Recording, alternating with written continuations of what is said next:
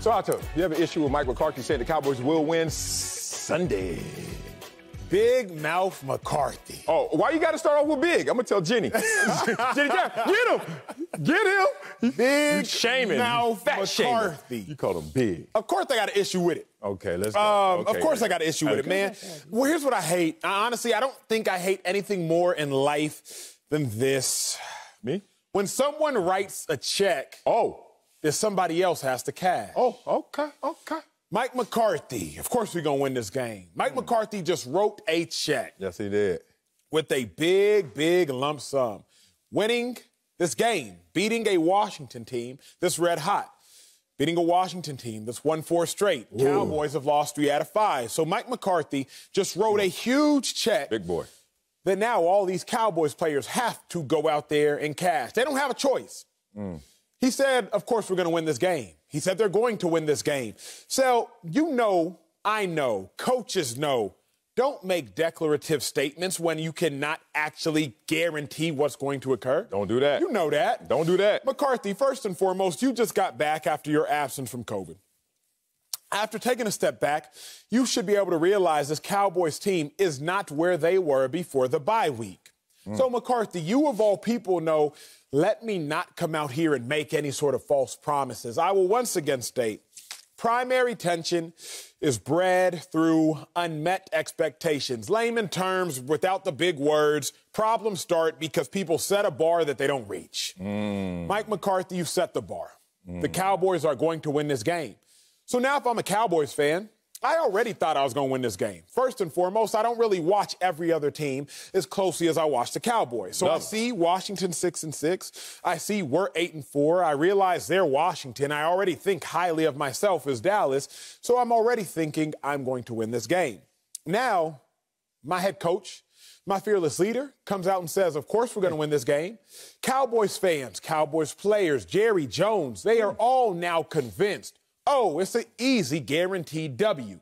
Because Mike McCarthy has confirmed what everybody already believed, mm. whether rationally or irrationally, whether merited or unmerited. So, Yeah. I hate Big Mouth McCarthy saying this Why you calling him big?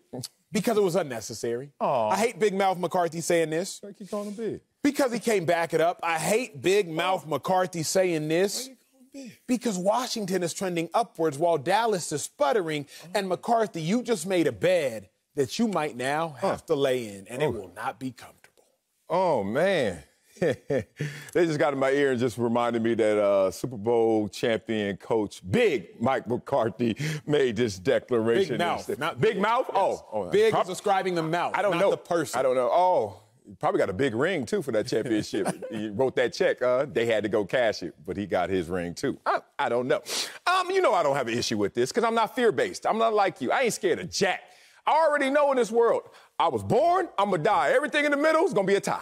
Like I'm gonna win some or lose some, but if you add it all up, I'm, it's a tie. I can't take it with me, so I enjoy every moment, and I ain't scared of nothing. Dog, I wasn't always this way. I used to be on your side, Acho. Oh, I used to hate that world when I used to live over there, concerned with others and how their reception is and what they gonna take from everything I say and do.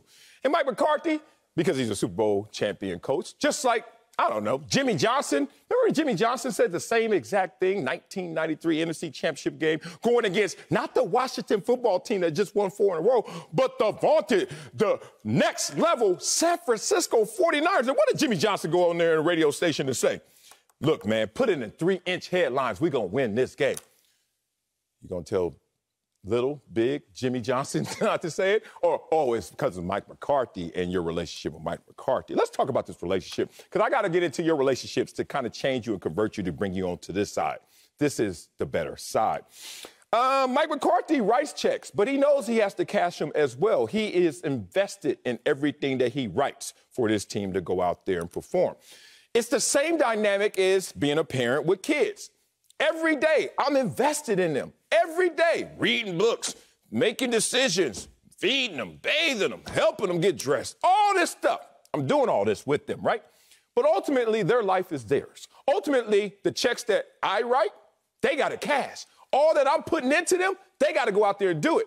And that's the thing about a team concept that you got to understand. There's some guys on this team that won't even step on the field, but are major contributors in terms of practice. You know this practice tempo, doing the stuff, the little things in the locker room, keeping us all together, whatever it may be. Glue players, as we're going to discuss later.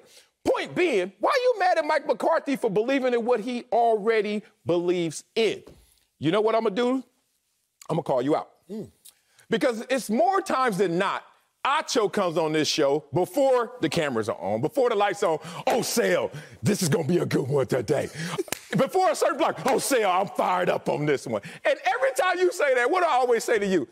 And like, you're gonna do your best and you're gonna live with the results. Why are you mad at Mike McCarthy?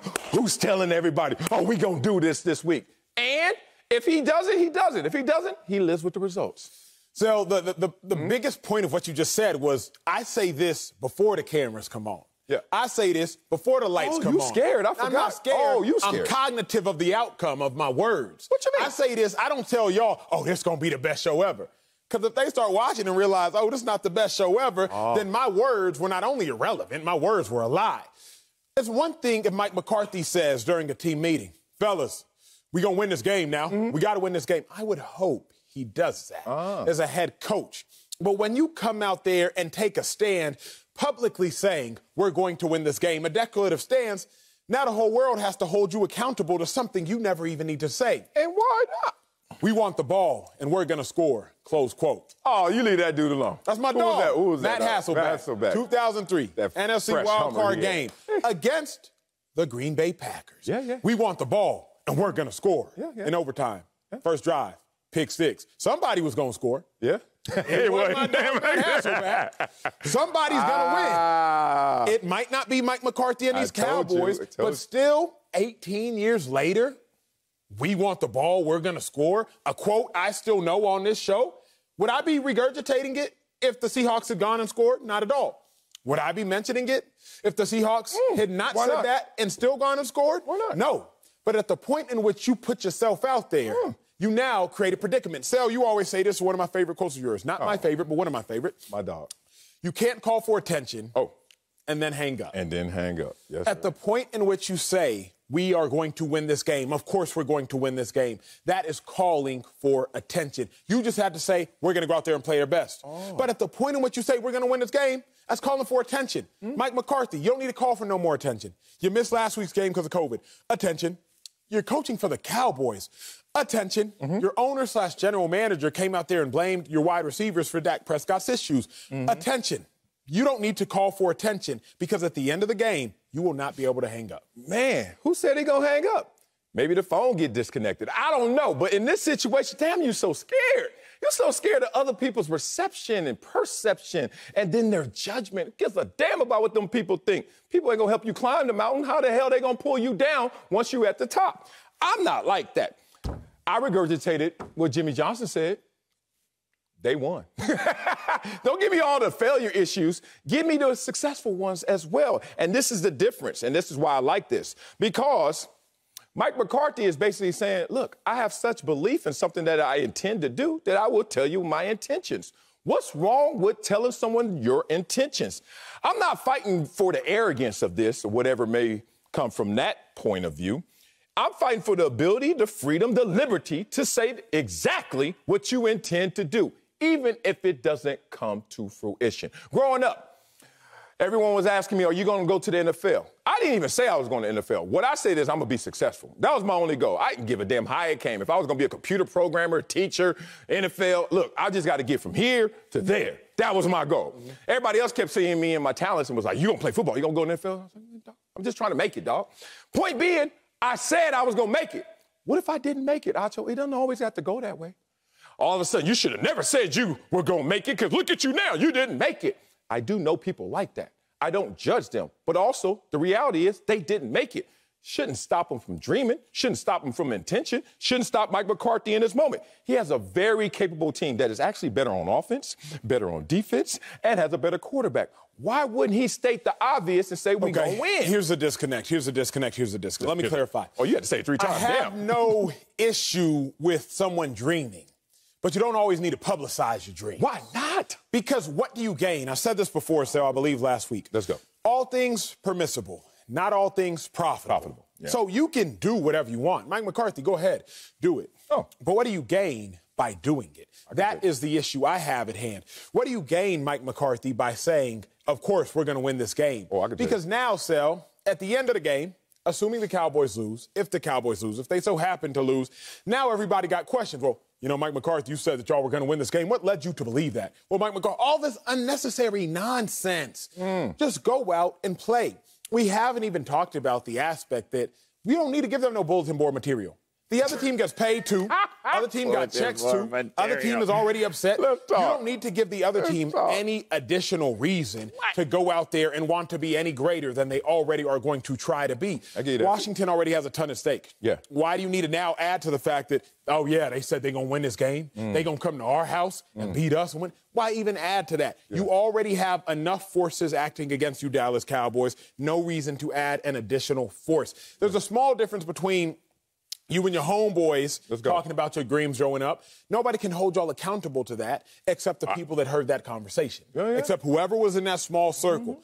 The whole world now has heard this conversation. Ooh. The whole world is in the circle of Mike McCarthy, Ooh. and we can all hold Mike McCarthy accountable to mm. those words. Oh, so you saying don't say this because you're going to have to deal with questions in case of failure? The Cowboys deal with questions in success.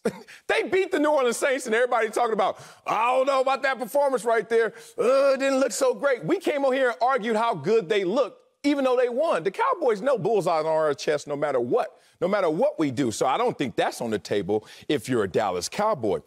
But I know what's at play. I know. Dis- Let me do it like you did. Disconnect disconnect, disconnect. You talking to me like you my granddaddy up here. You look sharp too. All right, let's talk about the disconnect. Because if I'm the one with a gun, I'm not scared. Now, I know why you're scared, because you're scared when the rabbit has the gun. Mm-hmm. I know why you're scared, because you're scared if the other team all of a sudden is fully motivated. And let's talk about preparation, because not every team is fully prepared. There's some guy on that team that's starting right now and is like, oh man, it's Washington is some guy on that team that's all in. And we know the ways because we've been in the locker room. And you can tell yourself that you're fully prepared, but if someone could tell you something about you and say, we're going to beat y'all, and then all of a sudden you prepare more, you weren't fully prepared before. That's what's at play right here bulletin board material, which I think is BS.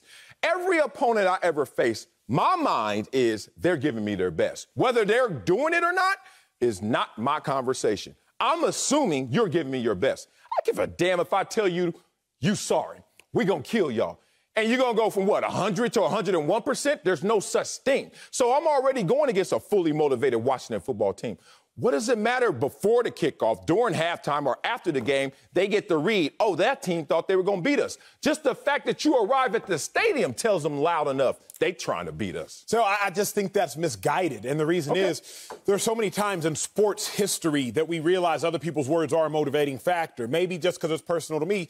Dallas Mavericks playing the Miami Heat, okay. 2011 NBA Finals. Remember walking into the stadium, D Wade, LeBron James joking because Dirk Nowitzki had said he was sick. Dirk mm-hmm. Nowitzki had, had, had had those issues. Dirk ended up going off Dirk ended up giving them boys buckets, more buckets than he had given them prior, and the uh, Mavericks end up winning that series, a series which will haunt LeBron for the rest of his career. Now, maybe Dirk was going to do that anyway. Maybe us as TV personalities created in narrative form what yeah. was going to potentially happen because of what Le- uh, LeBron and D Wade went on to say. Jokes. But the fact of the matter is, now you are allowing us to piece two things together. McCarthy, if y'all go out there and get blown up, now the narrative can be, man, you went in there too cocky, mm. went in mm. there too confident, went mm. in there egotistical. Yeah, yeah. The other thing, and, and I'll kind of close my thought with this is let's go. Oftentimes we pay no attention to the positives. We only pay attention to the negatives. You talk about this on social media. A thousand people could praise you, and you only gonna read that one comment, Acho, you an idiot. Wiley, you a clown. Acho, you sound dumb. I was thinking about this two days ago when I did that show. When I did the show, you weren't here, big dog. And I was like, man, the show went incredibly smooth. I didn't think anything of it because it went smooth. Mm. But had it gone bad, mm. your boy would have been red hot. Mm. So I had to pause and say, wait a second. The fact that it went smooth is a sign because it could, didn't have to go smooth. Nobody's going to pay attention to the Cowboys if they win. We're not even going to think about the fact that Mike McCarthy said, of course, we're going to win. Because when everything goes right, you pay no mind to it. Mm. When everybody's complimenting you, you pay no mind to it. When a show goes seamlessly, you pay no mind to it. Mm. But when things go wrong, mm. that's when everybody starts to look at why did it go wrong? Mm. If the Cowboys lose, Mike McCarthy, you just added an additional problem. He gains nothing and potentially loses a lot by those comments. That's my biggest issue with it. So, in your mentality, in your mindset, you think the pain of losing is greater than the pleasure of winning. Sounds like that. Mm-hmm. I've heard people say that in gambling, especially. I, oh, I hate to lose so much that I ain't even gonna try. I don't give a damn about losing. You know why? Because that's a process. That's a part of the process to winning. Like me and my wife, we were talking about this yesterday. And my wife is scared to fall down and just in life in general. She's scared to fall down. She wants everything to be perfect. She's scared to fall down. I was like, but you can't learn to ride a bike if you don't fall down. She's like, What do you mean? I was like, if you want to ride your bike, you're going to scrape up your knees. If you want to learn how to do some ollies, if you want to learn how to pop a wheelie or two, you got to hit the ground, right? Who cares about hitting the ground? As I tell my kids all the time, don't worry about falling down. Learn how to get up. And that's as simple as this. If this team loses a game and oh my God, we can attach to it a narrative of words that you keep talking about the examples that didn't work, the exceptions that proved mm-hmm. the rule. Jimmy Johnson did this for the, the same Dallas Cowboys decades ago. Let's talk about someone who, before every track event, did this. right in front of everybody facing, looking at him, dancing, hitting the running man. And he went out there and said, Good luck. Basically, without words, he said, I'm better than y'all. I'm winning this race. And I don't have a problem with that because I think there is a separation of church and state. I think what you say is what you want. I think what you do is what you're trying to do. And that's as simple as that. If you don't get it done, next time. But the, the Washington football team knows that they're undermanned. They know that they're not as good as the team that they're facing. So I stand tall for those who believe that they can achieve. You can stand where you want to stand or squat where you want to squat for those who need to be careful of what they say until they do it. And then it's too late anyway, because if you really believed it, you should have said it in the first place.